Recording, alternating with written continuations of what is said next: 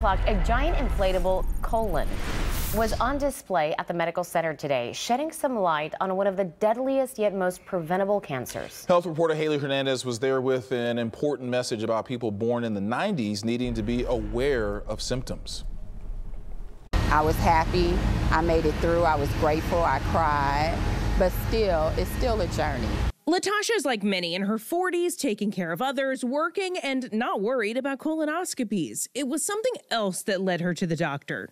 Something doesn't seem right. I feel like something, I have some sort of blockage. It's a classic story for colorectal surgeons. No pain, just something different that leads patients to them. And had it been ignored, it would cost their life. The most effective treatment actually is prevention. Inside this colon on display at TMC, facts about colorectal health trying to get your attention to get screened. This year, about 4,300 Texans are going to die from colorectal cancer. About three times that amount are going to get diagnosed with it, and it's happening in patients younger than you think. For someone who was born in 1990s, they face twice the risk risk of being diagnosed with colon cancer and four times the risk of being diagnosed with rectal cancer compared to someone who was born in the 1950s. Ways to reverse this deadly trend move more, avoid sedentary lifestyles. Don't be shy. Talk to your doctor about your bowels and any changes, and get screened at age 45 or earlier if there's a family history. Latasha's glad she did, but wishes she had done it sooner.